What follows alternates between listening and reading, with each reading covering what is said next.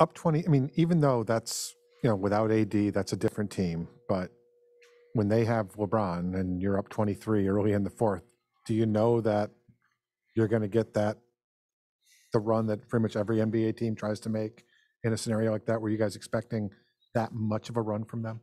Uh, yeah.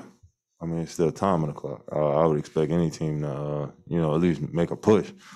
Uh, but you know, we held the fort, um, and the team did. a- Duncan played 41 minutes. See that? See that, man? You almost, you almost got me fined for cursing. See? Bam. It, it,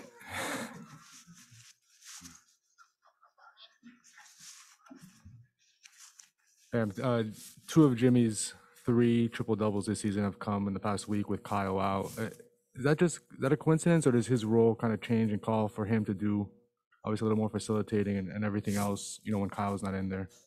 Uh, his role definitely does change. Um, you know, he has to be a complete player when uh when Cal goes out. He has to uh, get players involved. He has to rebound. He has to score. So uh, yeah, and he does all the little things in between.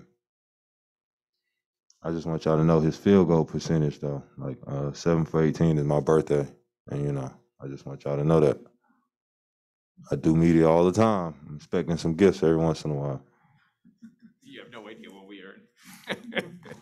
Bam, um, S- Spo was just in here saying, look, if we can build these kind of leads and we get in those situations and we can manage the fourth quarters and we still get out with a win, we'll take it. My question to you is, you had this in Atlanta also, where you you you were able to work your way back. Do you think even a loss like that, you know, and, and holding off Portland on Wednesday will help you in the moments of truth, playoff, playoff wraiths, things like that, to get in these situations and to learn how to manage them? Uh, winning any game, you know, by four, by two, by six, um, and you were up 21 in the beginning of like the third quarter, um, you know, that's just nothing but teaching us lessons on how to win.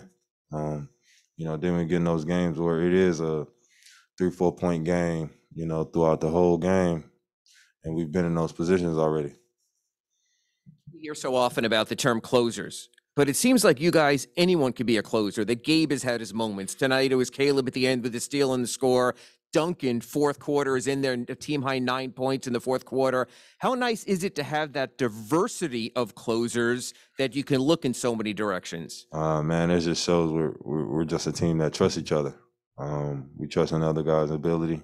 You know, it's uh, mm, it's a luxury to have that many guys that can be a closer for you, and uh, you know, defense or offense. Um, you know, I feel like that's what makes our team so dynamic. There were some questions, I guess, on the outside about how the offense would change when you got back from the absence and stuff. Was that something that maybe you thought about on your way back to the team? And, and do you think anything really has changed?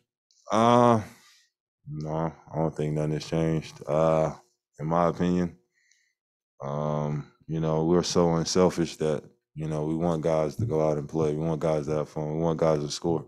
So uh, I don't think it's changed because I mean, look like it changed to you.